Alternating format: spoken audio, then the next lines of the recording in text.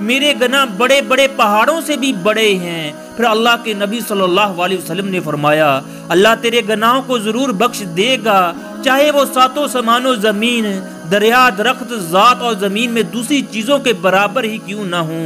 बेशक तेरे गना काबिल बख्शिश हैं, अल्लाह की अरशो कुर्सी के बराबर ही क्यों ना हो।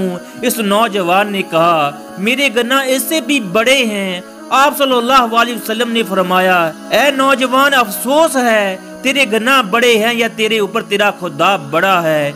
ये सुनकर वो नौजवान सईदे में गिर गया और कहने लगा, अल्लाह की जात बड़ी है, मेरा खुदा अजीम से अजीम तर है। इसके बाद वो नौजवान खामोश हो गया।